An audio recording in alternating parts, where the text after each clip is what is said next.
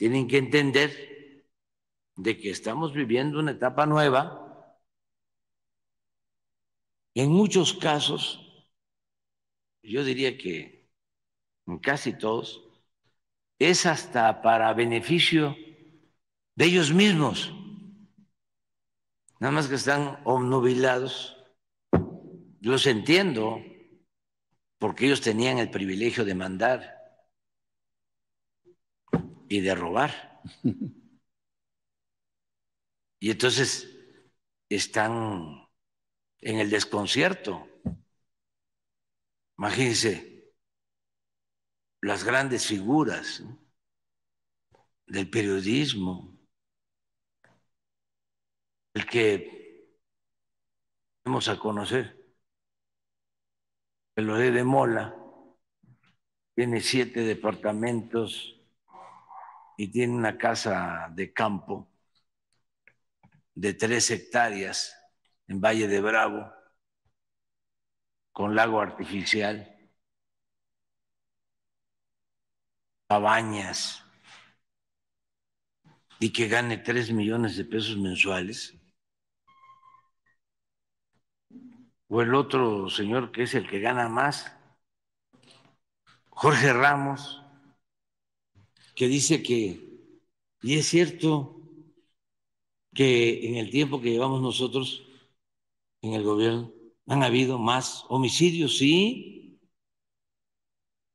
porque pues estaba muy alto el número de homicidios cuando llegamos y lo hemos ido bajando.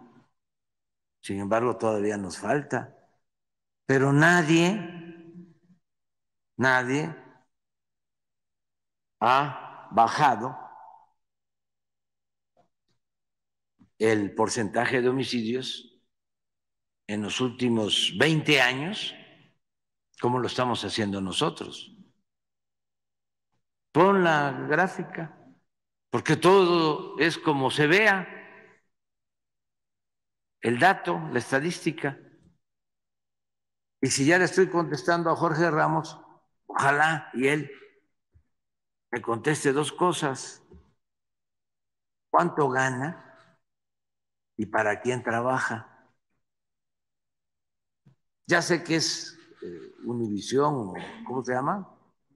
Sí, sí, no, pero ¿para quién trabaja en realidad? No, el de todos los sexenios.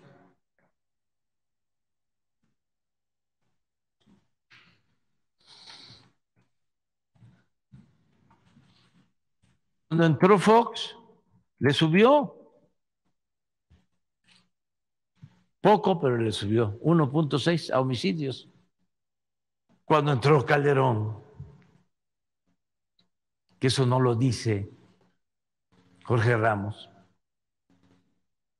aumentó casi 200% el número de homicidios.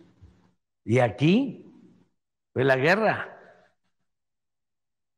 convirtió al país en un cementerio.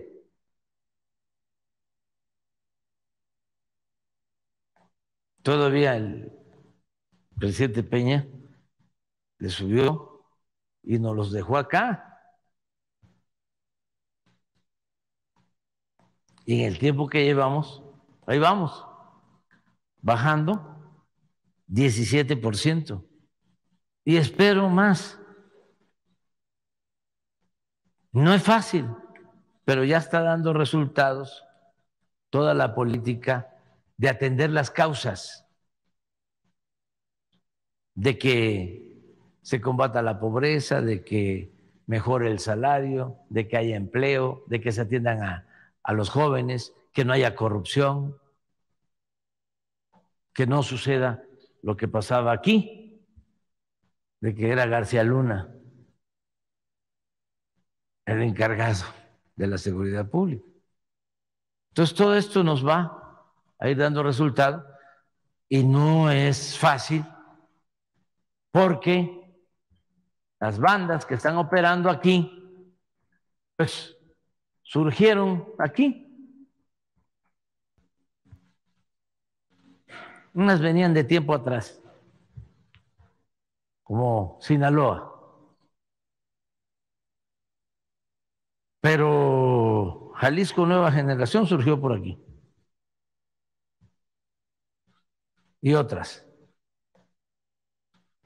Ahora me da mucho gusto porque ya cuando estamos deteniendo como a 1.300 presuntos delincuentes en promedio al día,